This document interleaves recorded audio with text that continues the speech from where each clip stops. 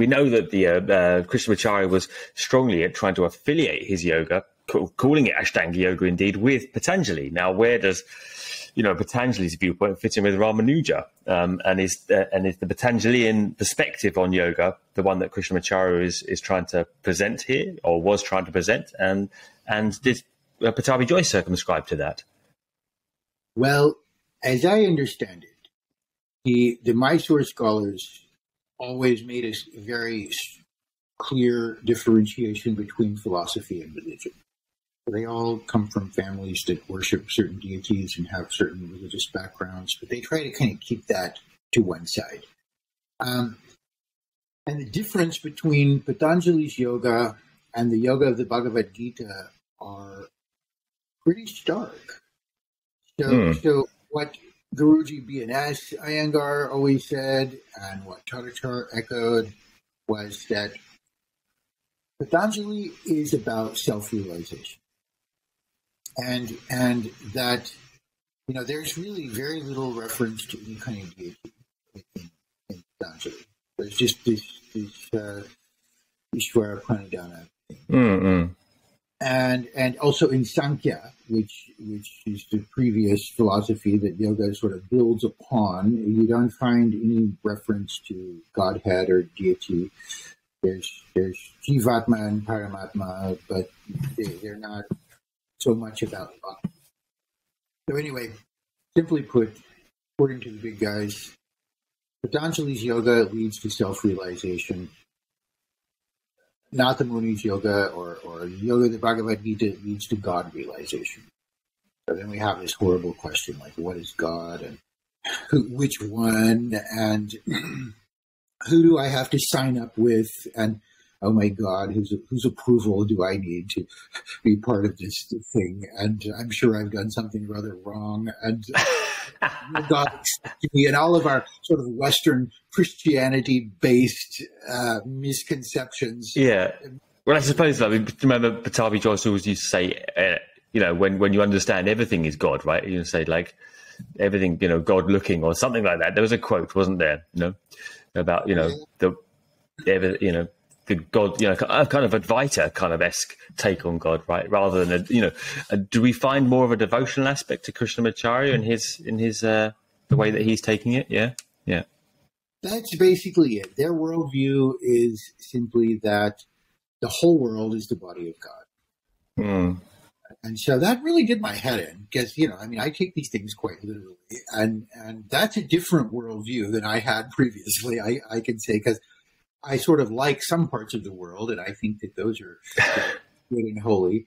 You know, I like roses and sunsets and uh, beautiful yoga postures, but I don't like dead possums or uh, you know nuclear war or uh, there's so many things. There's a whole that, yeah. There's so many things. Yeah, especially now. Yeah, yeah. we don't have the list of you know, yeah all day. So you know how how can um, all of this terrible stuff going on in the world be God. Mm. Fundamental issue. Mm. But um, God's body has two parts, Prakriti and Purusha.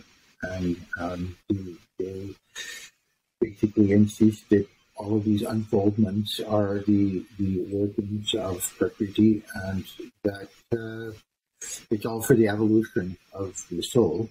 And it doesn't mean that you're not going to suffer in the evolution of your soul. mm. So um, that's an unanswerable question anyway. You know, but um, fundamentally, whole world's body of God. Try to cultivate love and affection for God, which means everyone and everything around us, which uh, I find to be very challenging at some moments. you know, I, and so, yeah. so the reason to practice all these asanas and to practice the pranayama and to practice everything is to refine ourselves and, and to remember also that that every action, every word, every thought is is, is karma and, and, has a repercussion in our life, and that if we practice the asanas, we refine our nervous systems and, and we clean up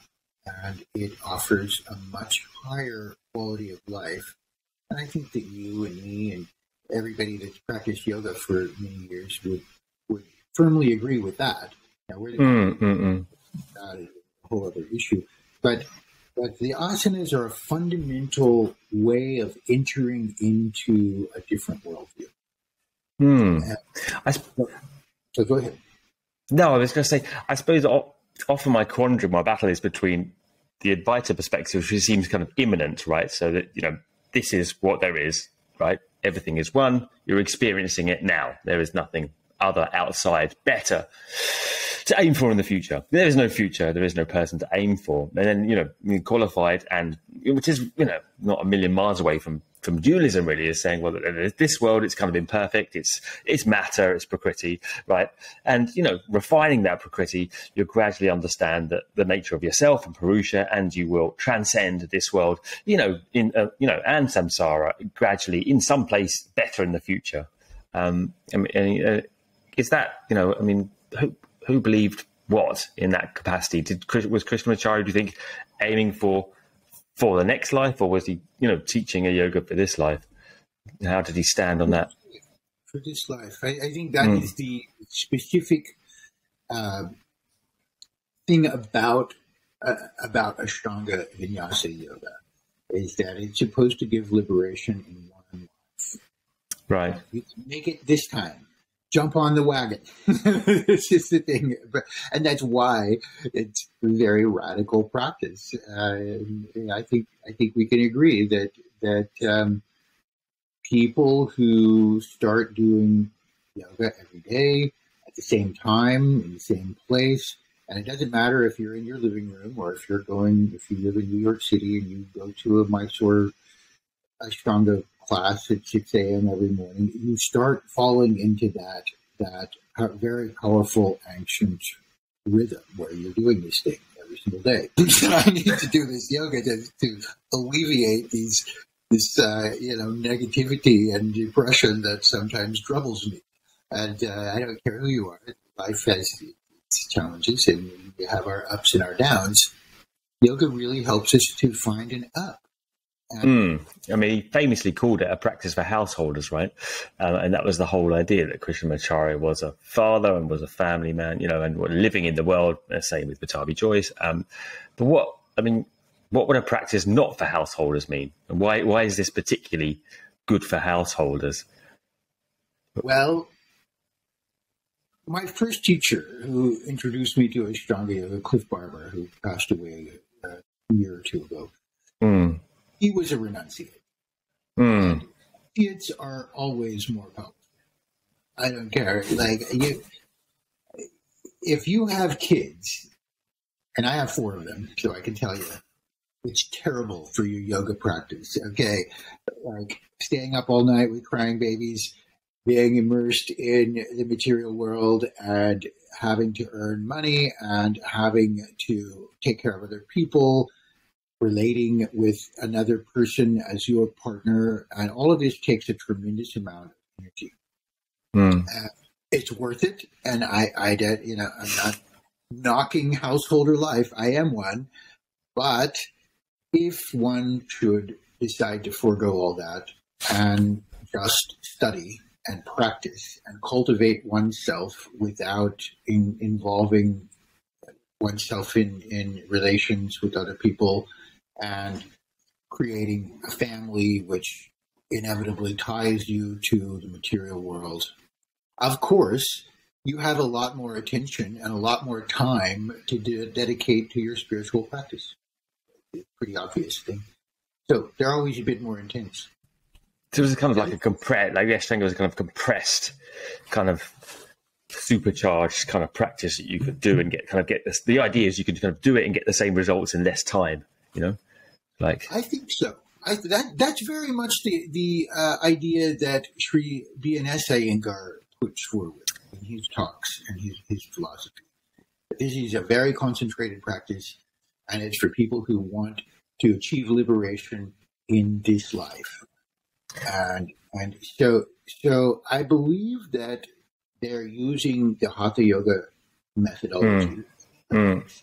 That it is a hybrid And what we can say about Krishnamacharya and the people that he taught, never mind whether they're Shivites or Vaishnavas, is that he was a kind of ambassador who took these radical hatha yoga practices and formatted them into something that the world could relate to, uh, and and uh, made it scientific. He he made it about health. He made it uh, hmm. To the masses. And, yeah. and he, that genius really does. Um, that credit goes to him, but it also goes to the royal family of Mysore, who hmm. paid paid him to do it and put him up to it. And yeah, and probably tolerated him as well. Uh, Yes, yeah, grou- grouchy kind of character that he was. But, but, I mean, why didn't he teach anyone the philosophy part of it? You know, the, the background that he had in this uh, Nathamuni Sampradaya. I mean, he taught the kids the asana part of it. He never taught the philosophy. And your teacher, BNS Iyengar, um, also was taught by Krishnamacharya, I believe, and he taught you philosophy, I think. But Pattabhi Jois, again, didn't teach the philosophy to anyone. Well, I think that they saw them as different things. And right Krishnamacharya definitely did teach philosophy, and he was did. yeah, professor, but not to his yoga students. Yeah, no, because they were a bunch of kids. It's, it's like you know, if you have a yoga student in your class who's 14, are you going to sit them down and tell them about the yamas and niyamas and all this stuff? Not really. Uh, they, they just keep doing your asanas, and uh, we can talk about that later. But if you had somebody come to your class who was, you know, in their 40s and going through certain things in their life and had some really sincere questions to ask you, you might really go into right. It. So it was. It kind of felt it wasn't relevant, but you know, inherently relevant, like kind of like a more mechanistic thing. You do this, and you're going to get that experience, right? Like you don't need to kind of understand it cerebrally. I mean, you know, because his kids, you know, would have grown up, and, and at a certain point, right, they were 18, 19 at a certain point. I think uh, BKS Iyengar talks about someone you know teaching him who was a you know yeah BKS himself was when he broke with Krishnamacharya not that young you know who could have been could have been chatting to him on a philosophical level couldn't he but he didn't didn't really get any of that. Well, I think they were somewhat choosy about who they who they imparted their their knowledge to, and that was considered a much higher level of. Mm they're not necessarily going to tell you about all that unless you ask them and, and ask them in just the right way at the right moment and they feel like it. That, that's a that's access. so, um, Pattabhi Jois didn't speak English very well, not well enough to get deeply into philosophy. And, and it's such an eloquent and deep subject we struggle to understand it even with people who do speak very good English because Sanskrit words, as you know, are not, we don't have equivalents for those in, in English. You know, you take something like the word karma, uh, it, it, takes hours to discuss what that actually means and all of its implications.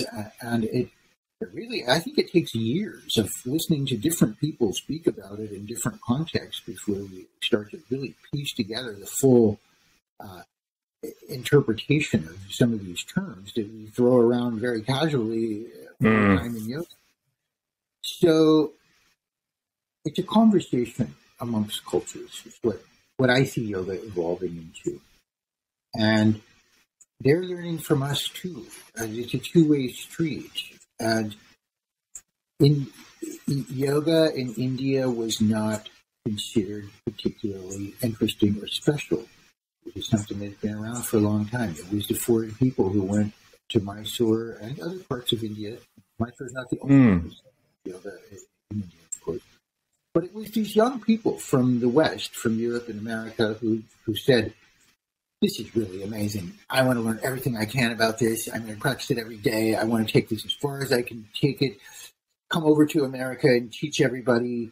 Uh, this is a big deal. We're, we're going to you know, it was really Pattabhi Jois's early students, who most of whom I know, who brought the yoga out. So there is this beautiful conversation happening. I, I feel, you know, between cultures, And yeah, that's what yeah. Peaceful Yoga Traditions Conference and, and retreats are all about. I'm very excited about my retreat coming up because Alwar, Sri Alwar, is the Acharya of Nathamuni Sampradaya. And I've, I've got him, he's agreed to take us to Melkote, where he grew up, and show us all around. We're going to do asanas uh, where Ramanuja bathed and prayed and, and just be in that world for a little while. And nobody can explain it as good as he can. Um, not only did he grow up in that place, but he's the leader of the tradition and Yeah. he knows all this stuff. We're basically trying to understand it ourselves, step step at a time. And do your practice and all is coming. You know that is the, this uh, abhyasa vairagya term that. Uh, so so keep practicing and, and engaging in the spiritual practices and listen to everybody's ideas Mm. and work it out for ourselves. Like, you know, what does that mean while I'm browsing Facebook? How am I practicing Vairagya while I'm, well, that's relevant, actually. Uh, Well, it's life, isn't it? It's it's applied it's applied at philosophy, which is the only philosophy that's worth really debating with. You know, um, so I really appreciate this conversation, um, Andrew. And people can find Andrew um, fairly easily on his Mysore Traditions. Um, he's interviewed and talked with so many of uh, Krishnamacharya's uh, students. Uh, a couple of them are still alive now, I think, and um, yeah, all kinds of interesting people who are not usually on the radar. So I fully recommend delving into Andrew's uh, world and Andrew's um, you know incredible amount of um, you know work you've done on this for, for everyone. So thank you. Yeah, thank you. Yeah, Um, we're, we're doing a series of video um, lectures and courses. We take on different uh, different subjects. Like uh, we just finished one with Aditya Hridayam. We're going to do Hatha Yoga Pradipika. Uh, we've got Sri Alwar talked into teaching Gitartha Sangraha. So that'll be like 32, eight months worth of uh, steady lectures as we go through this. But it's my own education, really. This is what I want to study. And Yeah, yeah. I, it comes across. Yeah, yeah. So oh, it's just, oh, it's just you. No, I'm sure. I'm sure a lot of people will be interested. It's a you know a fascinating history, and I think you've done it justice in explaining it clearly and yeah, as clear as it can be. Um, you know, to uh, to to an audience who you know me included were completely unaware of any of this stuff until fairly recently, really. So um, yeah, thanks again for coming on, and um, I really Thank appreciate that. Yeah, thank you.